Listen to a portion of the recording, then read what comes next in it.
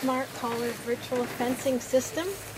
eShepherd allows you to fence and move and monitor your cattle from anywhere, anytime, 24-7. So how does it work? There are two elements to the system. There is a GPS enabled collar that is worn by every cattle, every cow, every animal, and there is a, a base station.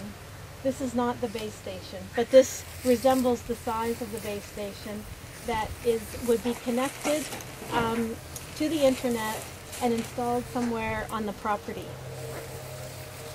Like in the field, you mean, or at your house, or Probably on your house, in the top of your barn. like how far away would it have to be?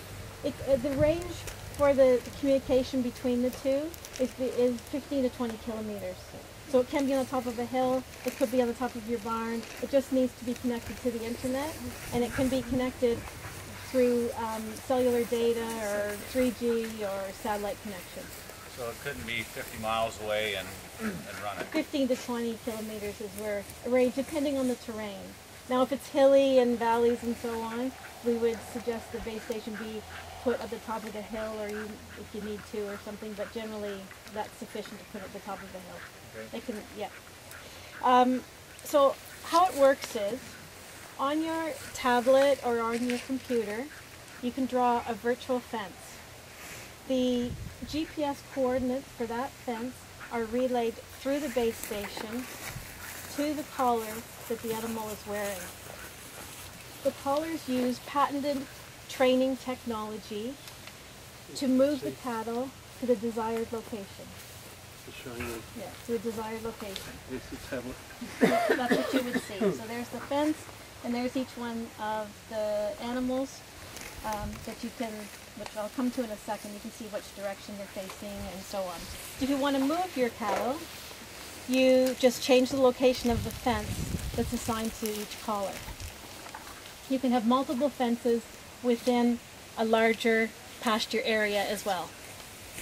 So the cattle are trained using a combination of audio cue and electrical pulse.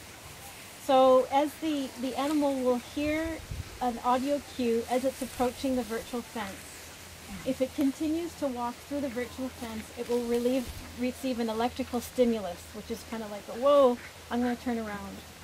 I'm going to go in a different direction. So if they can, um, the animal quickly learns to avoid this boundary just by the sound that they hear in the, from the collar. So the e-shepherd is based on animal behavior and also based on sound well, animal welfare principles.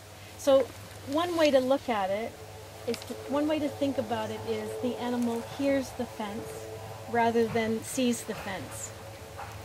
So our trials have shown, and we've done we're doing trials in Australia. We've done lots of trials over the past year, have, and we've done it in really different, diverse